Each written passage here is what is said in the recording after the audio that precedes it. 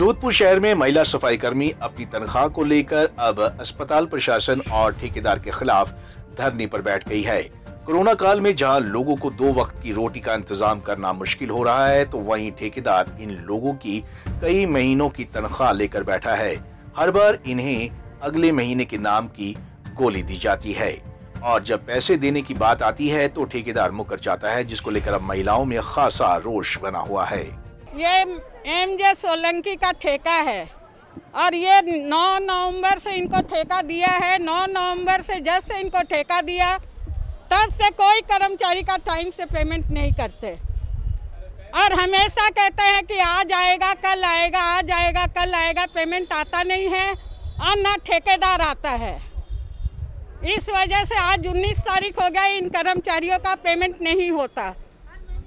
हर महीने का ही ये पेमेंट के लिए पर, परेशान करते हैं।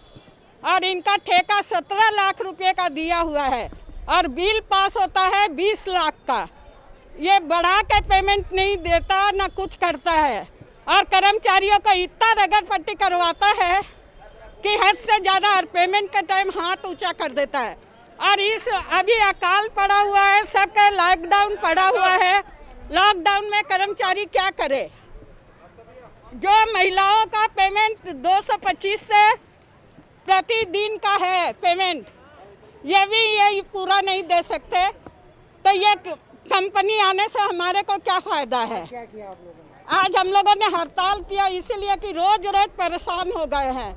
न प्रशासन सुन पेमेंट नहीं आएगा और ये ठेकेदार नहीं कहेगा कि हम समय से पेमेंट देंगे तो ऐसा ही होगा। हम क्या करें? जब ये पाँच हज़ार रुपया देने में परेशानी कर रहे हैं तो ये दस हज़ार पेमेंट होएगा तो ये क्या देंगे?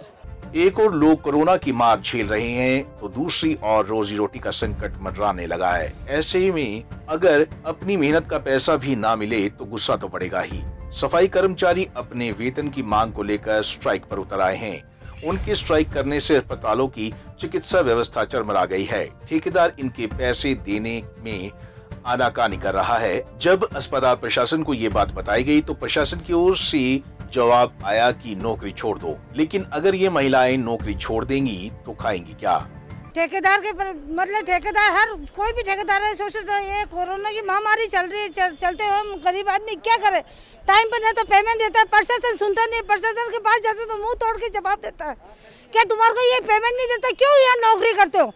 क्यों ड्यूटी पे तो नहीं आए तो हमारे बच्चे क्या खाए क्या करेंगे हम गरीब आदमी? इन सब की मतलब मिली भगत है प्रशासन भी मतलब कोई कोई किसी की नहीं सुनता है। तो हम लोग क्या करें बताओ?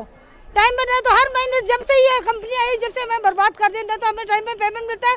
सब कर्मचारी किसी के किराए का मकान है, किसी के क्या बेचारे, क्या करेंगे? और काम कराते खेच कर हम सबसे। पेमेंट का नाम नहीं लेते ये लोग। अब क्या करें बताओ इनका? इसलिए हमारे तो ये कंपनी चाहिए नहीं। हड़ताल पर बैठी महिलाओं ने अस्पताल प्रशासन पर भी मिली भगत के आरोप लगाए हैं। बहरहाल इस मामले में अब कब तक महिलाओं को उनकी तनख्वाह दी जाती है और कब तक सफ़ाई कर्मचारी फिर से काम पर लौटती हैं, ये देखने वाली बात होगी। पंजाब के सी टीवी के लिए जोधपुर से जितेंद्र टूडी की रिपोर्ट।